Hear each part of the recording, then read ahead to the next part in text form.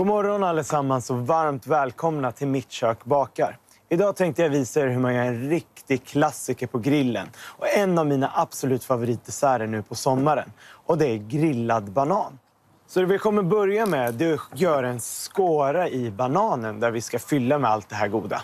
Och här är det viktigt att man egentligen bara gör en liten skåra i själva bananen här men att man inte skär rakt igenom. För nu när vi fyller så vill vi inte att det ska rinna ut utan man vill behålla det goda i själva bananen.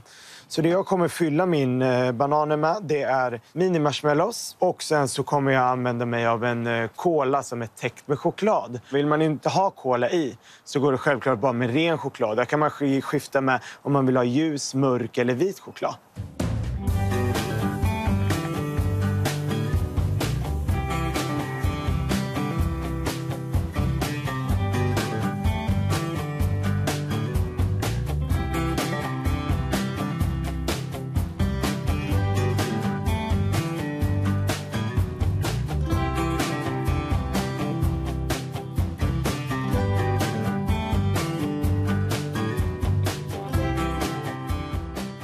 Så nu har jag fyllt bananerna med godsakerna så vi ska linda in det i folie och sen sätta dem på grillen.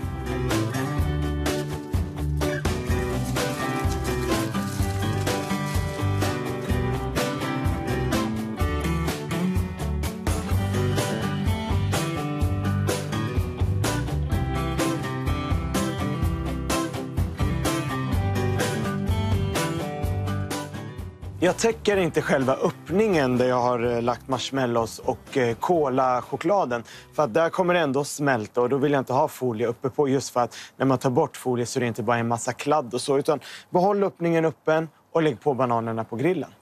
Nu kommer de här bananerna få ligga här på grillen och gotta till sig. Och desto längre de ligger på, på mellanvärme och liksom får verkligen baka sig så får man en ännu härligare smak i bananen. Så jag kan väl säga ungefär mellan 20 till 30 minuter. Men det är viktigt ändå att hålla koll på här för att man vill inte att det ska bränna. Och så, så kommer vi bara ta av dem från grillen, strö över lite hackade jordnötter och servera med glass om man vill.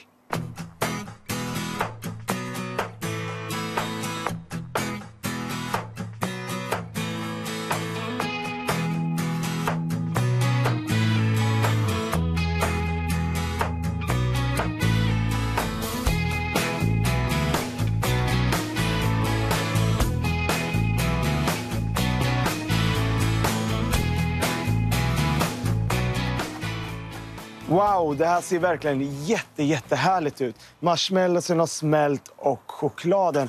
Så jag kommer plocka upp bananerna och så kommer vi bara strö över lite hackad jordnötter.